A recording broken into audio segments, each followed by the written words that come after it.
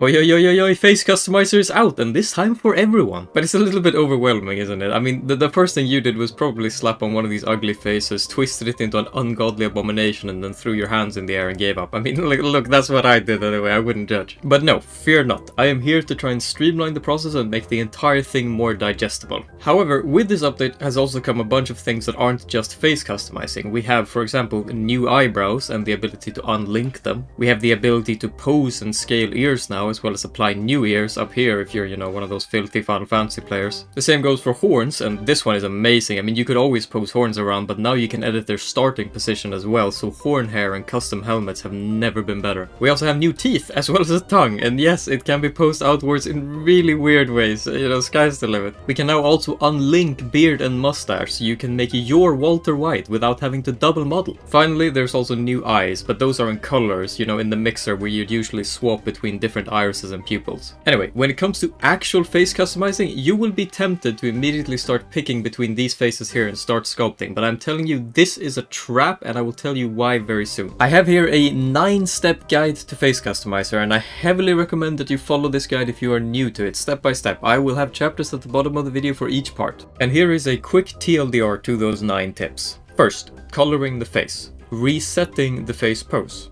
choosing a base face, and for the purposes of this video we'll mostly use the Hero Forge Heroic face. Picking individual face pieces one at a time, using the amount sliders to, you know, fix them up a bit. And then the big one, face sculpting, one section at a time from chin to cheeks to mouth to nose to eyes to brow, etc. Face posing, applying decals. Finally, refining whatever still looks off. Alright, there you go. Now let's do all of that, but with way more detail. Before I get going, I, I, I want to stress that you don't have to do everything in this order. I mean, you can put decals on first, you can pose the face before you sculpt it. I, I just personally wouldn't recommend it, especially not if you're new. But anyway, let's get to the first step. Step number one, coloring a default face without decals. This is not a die-hard rule, but if you are new, I recommend that you put colors on a face before you start sculpting. I also personally like to color the teeth, gums, and the tongue inside the mouth before I get started, as I kind of get annoyed if I know that it's plain white underneath underneath. Also, I do not recommend putting decals on here as it can make it harder to tell exactly how your face actually looks below it. On top of that, some of the old decal tricks are much less necessary now than they were in the past, but you will see that after we're done with the actual sculpting.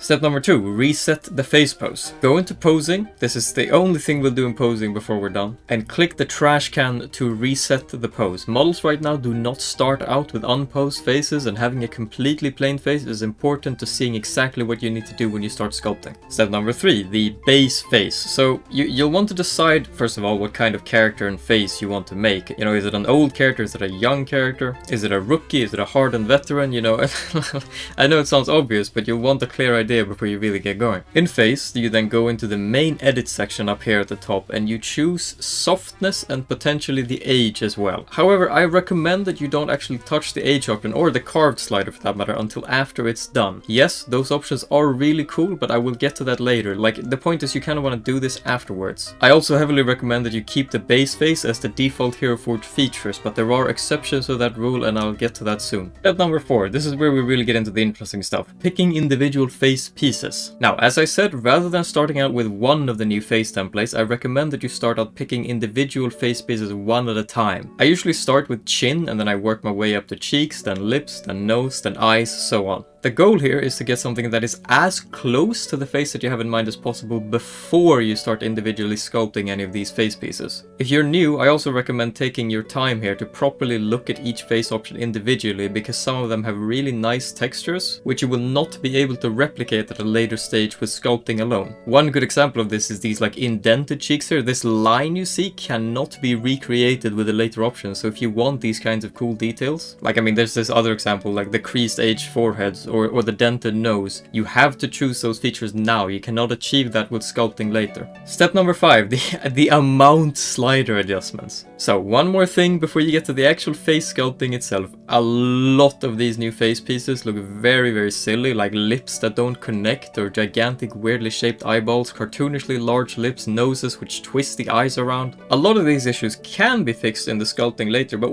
we're not going there just yet, okay? Patience. There is a better way. At the bottom bottom of most of the faces there is this sneaky little slider called the amount slider and it is about to change your life. If you click the cogwheel on it, you will see both shape and detail as individual sliders. Now this finally is where it matters that we maintain the baseline Hero Forge base face underneath all of this. Reducing these sliders, be it through shape or detail, will slowly morph features back towards whatever base face you chose was. Therefore, we can moderate how cartoony or how over the top we want the new features to look by morphing them back in the direction of the baseline face. Now, this isn't an ironclad rule, but I've personally found that having the baseline Hero Forge heroic features below makes it far easier to balance out like how extreme some of the new stuff looks. However, those of you who are clever might already be realizing how this thing can be exploited. Since this will revert features from what you've picked to whatever you initially chose as the main face, it means you can get halfway versions of some of the really extreme stuff. For example, the Githyanki nose I made in the D&D video was by having an undead missing nose that was half twisted back into a human nose. I also created this rotting looking scar face by twisting features back towards the undead cheekbone which was the main face below, which normally is completely torn open, but because I have new features on top of them and I went halfway, it just kind of looks like this scarred, messed up, like damaged face. But Derf, I hear you say, why is all this necessary? I mean, I just want to create a basic human face, so why use the Hero Forge heroic face underneath just to put new features on top? Isn't this one here, the sleek upturned features, pretty good on its own without all the added complications? I mean, if, if you want to just make like a GigaChad model, this is a pretty good starting point, right? Yes, it's it, it, it's fine. It doesn't even have the cartoony cartoony lips and eyes that, you know, some of the some of the other ones have. But if you haven't selected a different face underneath this, you have no amount sliders. I mean, look where my cursor is down here at the bottom right. right. There are no amount sliders to moderate the features between if you do not have a face underneath this. So you need you need to try and view this as though you're having two faces at once and you're basically finding a merge between them when you're using the amount slider. And if you do use a new face as the lower layer, I mean you could use this face as the lower layer and then you start adding other features on top, right?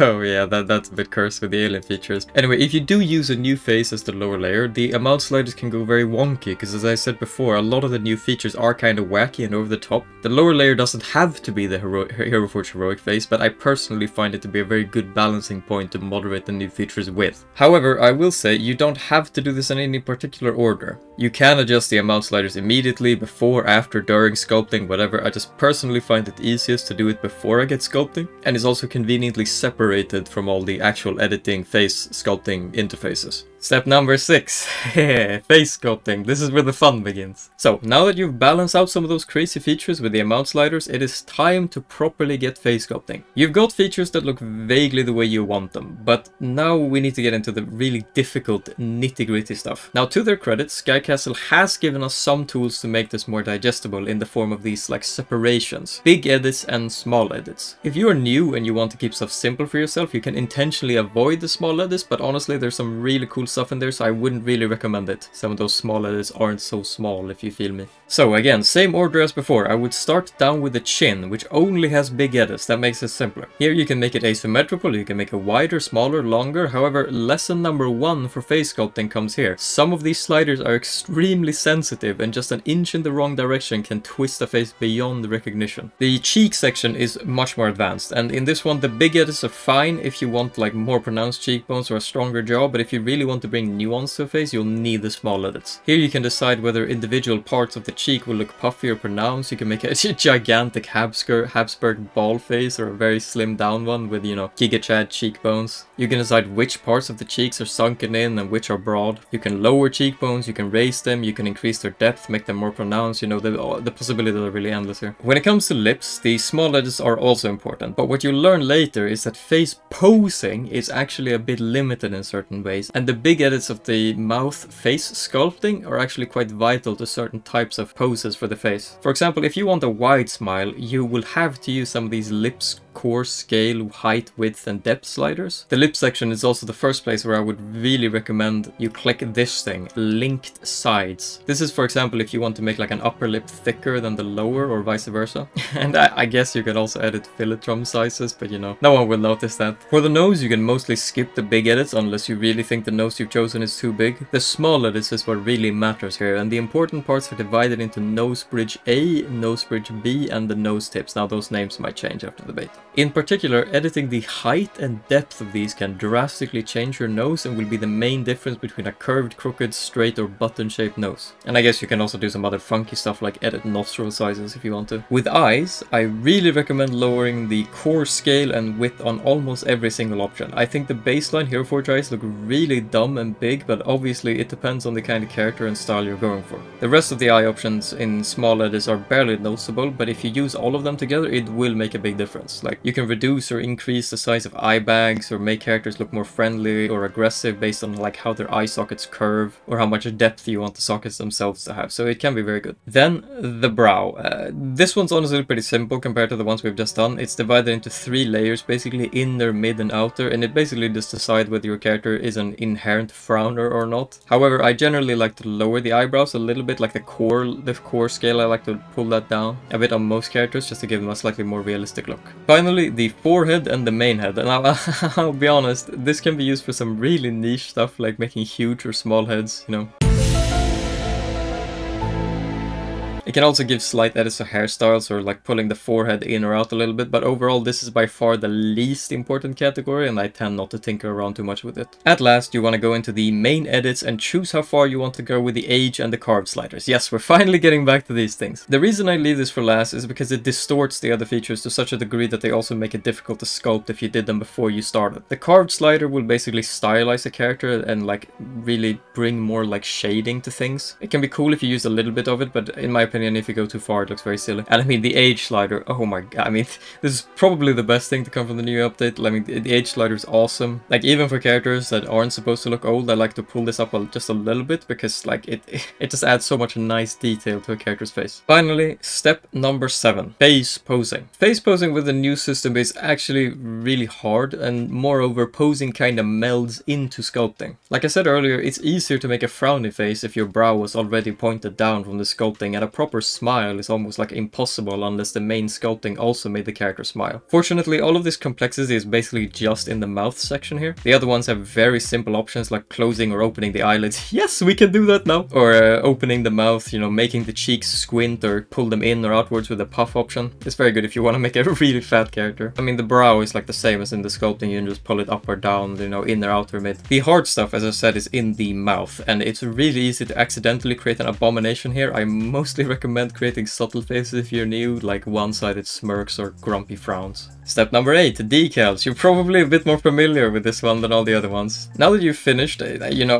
well you're not finished, you have a draft of a face, you can slap on decals. I stress that this is a draft. Whatever you make at first will likely need polishing, like I never finish a face in one sitting. Anyway, when it comes to decals, most of the old rules still apply. I still use eye socket shading, scars, lip decals, stubble, etc. But beware that you cannot use just the same colors from the old decals or it will really stand out like a sore thumb on a newer face. Step number 9 9. Refining. At this point, you just want to fix up whatever remains on your face. You know, if something looks off to you, go back into the options and twist it around. You know, go test those smaller options that seemed a little bit too niche or overwhelming to look at when you started. like these sides of the nose options, you know, play around with them a bit. And, and then after that, you can finally enjoy your finished face. Now, it probably goes without saying, but this guide is focused on how you make normal looking faces. And I, have left out a lot of options that I consider to be either too niche to be worth bloating and confusing this video with, or too minuscule to be worth mentioning right now. I also won't go into how you can use face sculpting to build, you know, custom monsters in this guide, but I, may do that in the future. But anyway, before I end the video, I will add some side notes and answer a few commonly asked questions about this. One cool thing we can do now is, if you twist the face really hard underneath the helmet, you can actually pull the helmet along with it and morph certain headpieces to look different and in some cases better. In the same vein, since you can now pose four pairs of ears around, you can use certain ones like these wing flaps add extra detail to custom helmets in the same way you do with horns. Basically, like I alluded to earlier, the, the, the world of custom heads and helmets has been expanded significantly with this update. It's not just face customizer, it's kind of head customizer if anything. But can we double model with these? As you may have heard, during the beta it was extremely laggy to double model with face customizer, but they have since then optimized it significantly. I can't speak for how a phone is gonna handle it, but at least my PC can now handle double, double modeling fine with face customizer with no issues. But is there any point to double modeling solely to stack two faces? No, not, not really. Like, in my opinion, it ends up looking very silly trying to twist two faces into one another with different fe features, and I haven't yet found any reason to try and do so either. The system is so advanced that you can pretty much make any face you want to anyway. Like, in fact, unless you specifically want the added horns or stacked hairstyles, I'd recommend just decapitating one of the models to reduce lag, and then using the second model solely to layer clothing and gear and just ignoring the head basically. All in all, I think Hero Forge now more than ever is becoming, you know, less and less reliant on double modeling. With all the added